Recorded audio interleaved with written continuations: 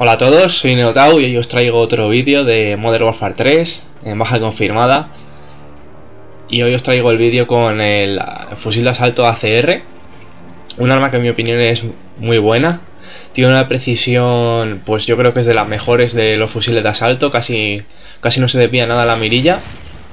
Tiene una buena cadencia y la, mira de hierro que, que trae yo creo que es bastante buena, se ve bastante bien es, fácil apuntar con ella y eso pues nos deja nos deja opción a poner otro accesorio que no sea una mirilla, ¿no? Para mejorar, para mejorar la mira, porque esta de hierro es bastante buena.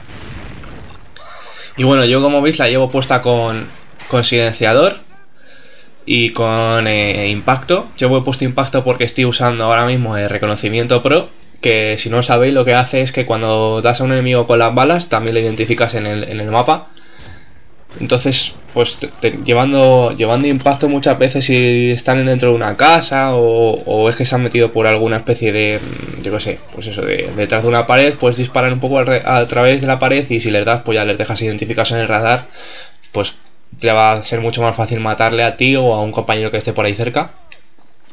Y es que, es que reconocimiento es una habilidad muy buena, sobre todo si la llevas junto con, la, con las... Eh, con la racha de especialista, llevar reconocimiento es muy bueno porque llevar reconocimiento vas a por lo menos reconocer a dos o tres personas con las granadas de, fragmentación, las entes y luego la, las cegadoras que lleves. Y luego si lo tienes en pro vas a identificar a un montón de gente y no solo para ti mismo sino para el equipo entero. Le vas a ayudar. Bueno, aquí veis que me está enseñando mi colega el arma de oro que se había hecho, que nos quedamos ahí para un momento. Y lo que iba diciendo, que no solo reconoces a la gente para ti mismo, sino para todo el equipo, sale en el radar de todo el equipo y eso vale muchísimo cuando tienes un equipo que no, pues que la gente no es muy buena o que acaban de empezar a jugar a Call of Duty, que son niveles bajos. Es una ayuda porque esta gente no va a estar va a estar un poco perdida a lo mejor por la partida y eso les va, les va a dar la ventaja de poder ver a los enemigos antes de que los enemigos les vean a ellos. Y bueno, como veis la llevo puesta con la ventaja especialista, como os he dicho antes. Llevo puesto la primera eh, prestidigitación. Como llevo puesto línea dura de, ventajas eh, principales, pues con matar a uno ya tengo prestidigitación. Luego de, segunda para desbloquear llevo desenfundada rápido para lanzar más rápido las granadas y bueno, apuntar más rápido que en realidad tampoco tampoco yo noto mucho la diferencia usando fusiles de asalto. Y luego la última ya ojo ciego, pues, pues para que una vez que lleve ya la racha bastante larga no, no me la corte con un Predator o algún apoyo aéreo, lo que fuera. Y atentos a esta parte porque es una matanza aquí. Vienen tres, me carga los tres, veo que viene un cuarto, recargo. Me carga el cuatro, veo que uno se ha metido por detrás del camión. El quinto y cojo puntos aquí, chapas. Consigo desafío el borde, matar a tres personas cuando estás con la pantalla en rojo. lo que he cogido de las chapas, la triple baja. Bueno, de todo me dieron ahí. Como estáis viendo aquí que me están cegando a, saco, tiro la granada y veis, aquí identifico a dos y gracias a eso pues lo tengo más fácil, veo que uno ha subido para arriba. Le pego un par de tiros, no le mato, pero también le identifico. Y por eso voy a saber que sigue estando ahí arriba y no se ha ido. Y el otro que está escondido detrás de la esquina, los compañeros ven que están esperando también a que salgan, porque también han visto en el radar. Y esa es principalmente la mejor ventaja de, de reconocimiento, que cuando les tiras una cegadora normalmente la gente lo que va a hacer, lo que va a hacer es esconderse o ponerse en una esquina y tú vas a saber en qué esquina va a estar y vas a tener la ventaja de que tú sabes dónde está en el momento que sales de la esquina y él no se lo va a esperar.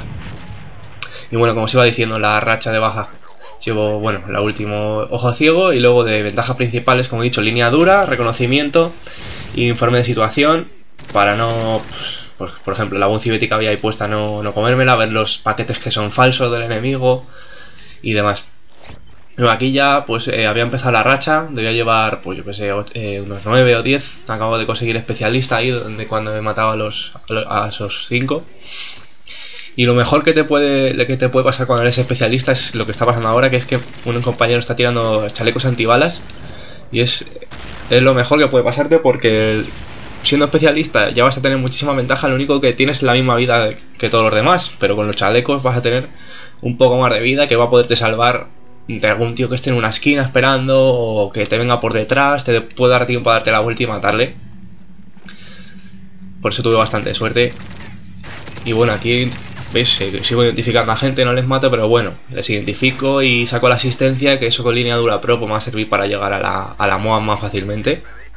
Y volviendo al tema del ACR, es, pues ya os he dicho que es una arma muy buena, estáis viendo que tiene una precisión bastante buena y es por eso que la uso con reconocimiento porque nos no hace falta que nos pongamos ni mira, nos puede poner silenciador, identificar a la gente sin que se entere dónde estamos y tampoco hace falta que nos pongamos retroceso, entonces nos podemos poner impacto para atravesar los muros.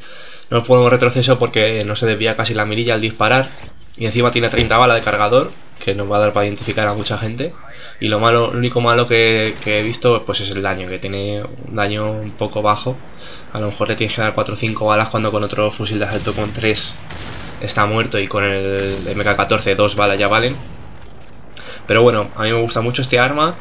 Llevaba tiempo intentando hacerme la MOAB con este arma, lo único que nunca la conseguía. Siempre pues o me pillaban o, o tenía mala suerte, se acababa la partida cuando llevaba la racha larga. Y para que no me pasara esto, en esta partida estaba, diciendo estaba jugando con dos amigos, Morpheus y Alex Moto. Les pedí que dejaran de coger chapas, yo tampoco las estaba cogiendo, porque ya llevaba una racha larga y quería, quería conseguirme la Moab, que al final la consigo, como veis en el título que he puesto Moab. La consigo a, pues a unas 7 o 6 eh, chapas del final de la partida. Vais a verlo. Lo malo, tardé bastante tiempo porque hago muchísimas asistencias, me roban un montón de gente. Aparte de los que yo identifico y compañeros matan, hay muchos que yo les, estoy disparando y me los quitan. Pero gracias a que llevaba línea dura pro, pues bueno, no es, no es malo del todo hacer la asistencia. Aquí veis una alfombra y tirada en el suelo, había visto que había rajado un compañero al subir ahí, pues sabía yo que estaba por ahí. Bueno, y aquí ya estaba con la tensión de que la partida se iba a acabar, yo ya llevaba un montón de gente matada, no sabía cuántos me podían quedar. Y, claro, entras en, la tentación de meterte a, saco a, matar gente para que te dé tiempo, pero eso puede llevar a que te maten, entonces no lo haces, tienes que ir rodeando un poco, escondiéndote para que no te, no te eh, joroben la racha de bajas, entonces me costaba más matar. Pero bueno, aquí ya mato al último, un, un francotirador que hay aquí metido a la izquierda. Acabo de conseguir el, desafío de sobrevivir 5 minutos seguidos. Saco la mod, la tiro y lo malo es que no maté a muchos porque se debieron salir de la partida, se salen de la partida, como vais a ver, mato solo 3, hago triple baja. Pero bueno, una Moab es una Moab. Y ahora voy a intentar coger las chapitas antes de que, de que alguien mate a, uno más para que la última baja fuera, fuera la mía de la Moab, pero justo sale a mi izquierda, no me dio tiempo a coger las chapitas y va a ser Morpheus el que haga las dos bajas del final.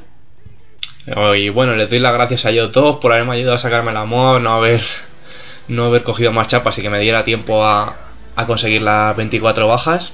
Y nada, espero que os haya gustado el vídeo, votar, comentar y nos vemos en el siguiente. Un saludo, hasta luego.